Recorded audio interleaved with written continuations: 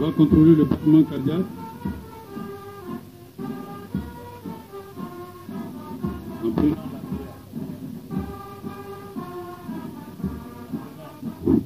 en prenant- en prenant la TR. Donc c'est pour vous dire que au niveau de la protection civile aujourd'hui, nous tendons vers euh, la médicalisation.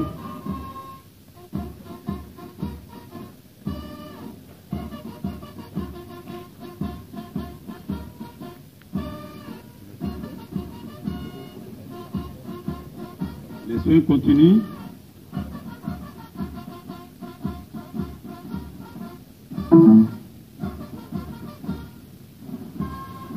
Continue.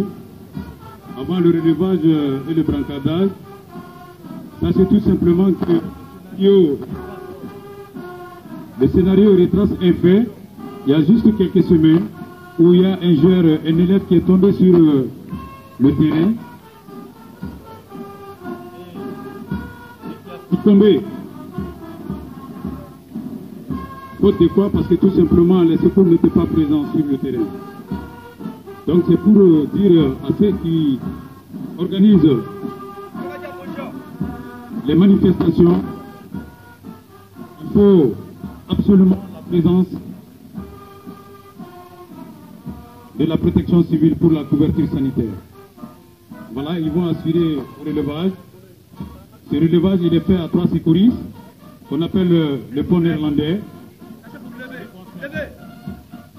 Voilà. Il relève le, le blessé d'un bloc de 30 cm du sol pour le, le mettre sous le matériel de potage adapté qu'on appelle le brancard. Et maintenant, ils vont assurer le brancardage.